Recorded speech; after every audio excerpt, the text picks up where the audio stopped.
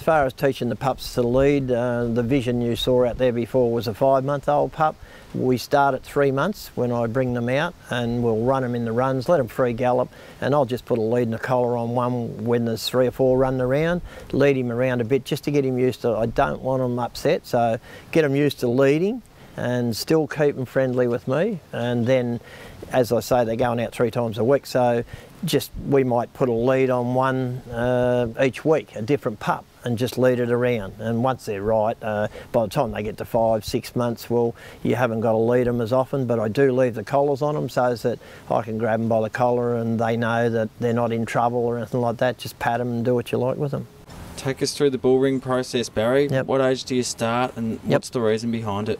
Well, the bull ring process, Andrew, is I've always been a believer that dogs have got to be very hard chasers. So I guess three years ago, around about three years ago, we went into the squeakers and put squeakers on the bull ring when they're three months of age because as you saw the pups out there today they had a squeaker and they love it it's they challenge it it's just uh, the way they go so at three months of age we'll take take them out on the bull ring uh, with the squeaker on it and get them used to the noise because they have to be used to the noise on the track and they have to chase hard. So at three months, if you take them in there and they'll grab the squeaker, I'm wrapped, and then after that, they might only get it oh, once every month or two months. And then as they get older, you saw some six months old pups there chasing the bull ring and grabbing the squeaker.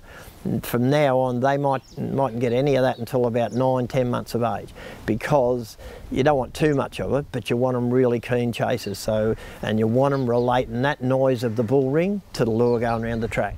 Uh, so it's purely a confidence thing, so they know what's Yep. going on when they get to the racetrack. Is It- that right?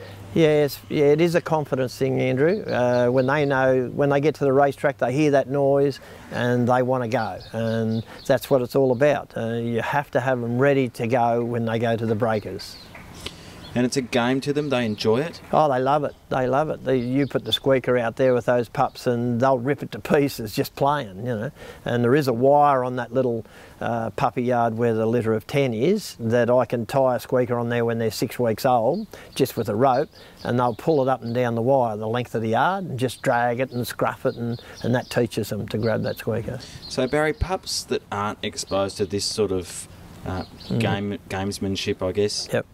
There's there would be some concerns when it comes to breaking in time for them. What would that be? It is very, very hard to break them in. Some will go, but uh, talking to Steve Elsom, who breaks dogs in for me, and they get so frustrated with pups that come there at 12, 14 months of age. They haven't been taught to lead, and they've got to teach them to lead. And then when they run the lure around, they're scared stiff. They don't know what that noise is. So I think we're at a bit of advantage doing what I'm doing. It's only my theory, and that's the way I do it, and we've had a lot of luck doing it that way.